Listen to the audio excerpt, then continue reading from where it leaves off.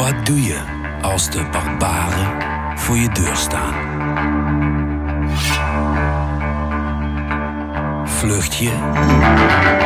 Bevries je? Onderhandel je of vecht je?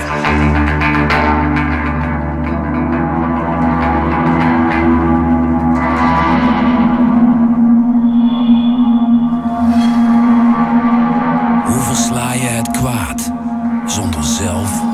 een monster te worden.